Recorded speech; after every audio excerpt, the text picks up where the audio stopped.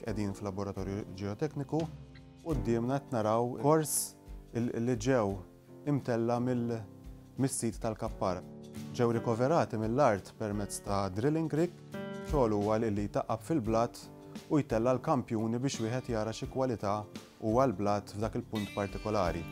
Saru diversi punti biex wieħed jistudja diversi areas differenti.